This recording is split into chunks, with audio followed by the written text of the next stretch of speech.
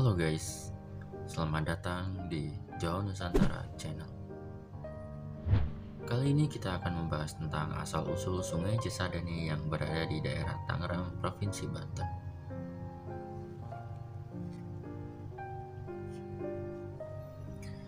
Cisadane adalah sungai yang membelah kota Tangerang, bersumber dari lereng Gunung Gede Pangrango serta beberapa anak sungai berhulu dari Gunung Salak Kabupaten Bogor, Jawa Barat. Dengan total panjang aliran sekitar 120 km, sungai ini melintasi beberapa daerah di antaranya Kabupaten Bogor, Kabupaten Tangerang, Kota Tangerang, dan mengalir hingga bermuara di sekitar Tanjung Burung di perairan Laut Jawa. Cisadane semenjak dahulu kala merupakan urat nadi serta jantung kehidupan bagi masyarakat di daerah-daerah yang dilintasinya. Cisadane dahulu kala termasuk dalam wilayah kerajaan Pajajaran. Seperti diketahui bahwa kerajaan Pajajaran pada masa itu menganut agama Hindu yang sangat menghormati air dan gunung sebagai tempat yang disucikan. Asal kata Cisadane berasal dari bahasa Sanskerta yang bermula dari kata sadana yang berarti jalan kebijaksanaan, yang kemudian terdapat kata ci di depannya. Bagi masyarakat Jawa Barat pada umumnya kata ci berarti air atau sungai. Namun, ada pendapat yang menguapkan bahwa arti dari kata ci itu mempunyai makna kiloan cahaya yang berasal dari kejernihan air itu sendiri. Jadi, Cisadana di sini mempunyai makna air atau sungai suci dan berkilau sebagai jalan untuk menuju cahaya kebijaksanaan. Dari sinilah asal kata Cisadana yang kemudian lalu berubah menjadi Cisadane. Tentunya, Sungai Cisadana atau Cisadane kala itu menjadi sebuah aset yang sangat penting dan vital bagi kehidupan masyarakat Pajajaran kala itu. Mengingat air atau sungai adalah sebagai sumber utama kehidupan bagi manusia yang harus terus dijaga dan dilestarikan keberadaannya. Maka, tidak heran kalau semenjak zaman Pajajaran, Cisadana atau Cisadane ini sangat dijaga serta disakralkan.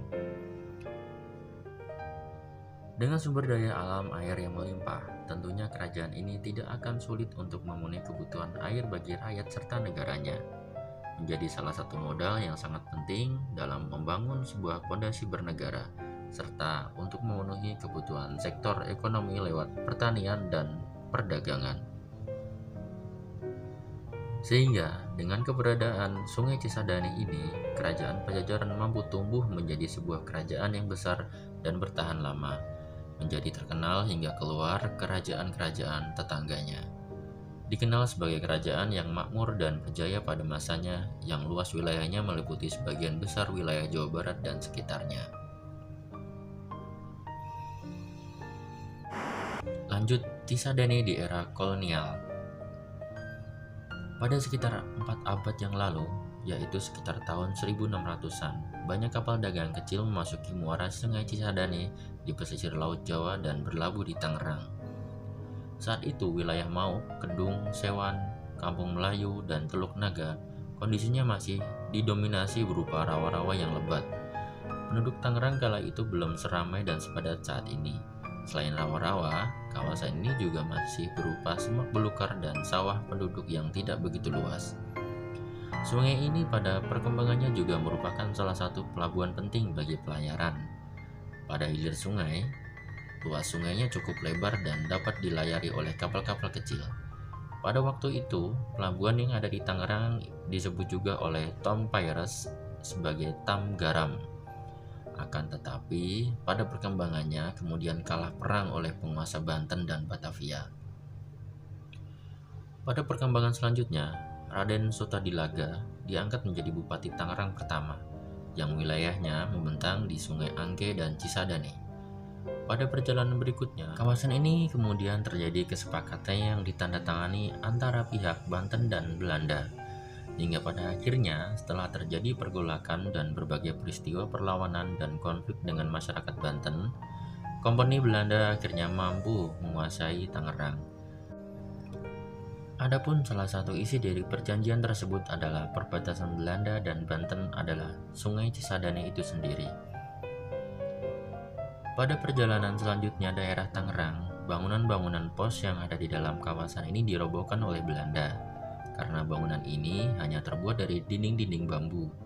Setelah perobohan bangunan-bangunan ini, Belanda membangun sebuah benteng dan mendatangkan tenaga kerja berjumlah 90 orang, terdiri dari 60 orang tenaga kerja dari Eropa serta 30 orang pria berkulit hitam.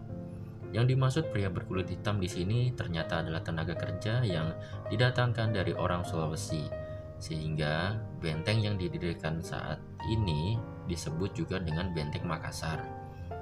Meskipun berada di Tangerang hingga sekarang, benteng ini menjadi markas bagi Belanda untuk menghadapi pemberontakan serta perlawanan masyarakat Banten kala itu. Sejak saat itu, orang-orang lebih mengenal bangunan itu dengan nama benteng. Maka akhirnya kawasan di sekitar Sungai Cisadane Tangerang tersebut dikenal dengan sebutan benteng. Semenjak tahun 1812, bangunan tersebut menjadi kurang terawat keberadaannya hingga akhirnya musnah tak tersisa. Sehingga kita pada saat ini tidak bisa lagi melihat bangunan bersejarah dari peninggalan pada masa-masa itu guys. Pada perkembangan selanjutnya, pihak Belanda mengizinkan kawasan di sekitar benteng Cisadane itu dijadikan sebagai lahan pertanian bagi para warga penduduk sekitar kala itu. Situasi itu juga yang dimanfaatkan oleh para pendatang dari peranakan Tionghoa yang pandai bercocok tanam untuk melakukan kegiatan pertanian di area tersebut. Hingga sekarang, sebutan yang melekat dari para peranakan Tionghoa tersebut adalah sebutan Cina Benteng. Hingga saat ini, kawasan ini lebih didominasi oleh warga keturunan atau peranakan Cina Benteng, berbaur dengan etnis Sunda Banten atau yang lebih dikenal dengan sebutan Sunda Tangerang. Pembauran etnis ini dengan segala bentuk kearifan budaya serta tradisi serta kepercayaannya masing-masing membuat warna tersendiri bagi pertumbuhan dan perkembangan wilayah Benteng atau Tangerang yang kita kenal saat ini. Jadi jangan salah ya guys, sebelum para pendatang dari peranakan Tionghoa menempati kawasan ini, sebelumnya sudah ada warga yang didatangkan oleh pihak Belanda, yakni orang-orang Makassar yang menempati kawasan ini untuk membangun sebuah benteng. Jadi jangan sampai lupa ya guys.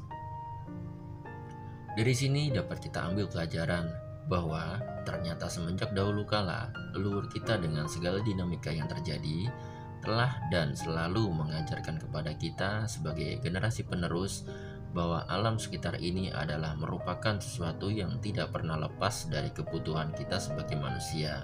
Jadi, harus tetap kita lestarikan Mengingat hal ini sangat penting untuk mendukung sebuah kehidupan serta peradaban yang harmonis, saling menghormati, menghargai, menjaga alam sekitar demi terciptanya kehidupan yang berkelanjutan, selaras yang akan kita wariskan kelak pada generasi kita selanjutnya. Demikian guys, kelumit tentang asal-usul Cisadane. Semoga bermanfaat. Jangan lupa like, komen, subscribe, serta share kalau kalian suka. Sampai jumpa di video berikutnya.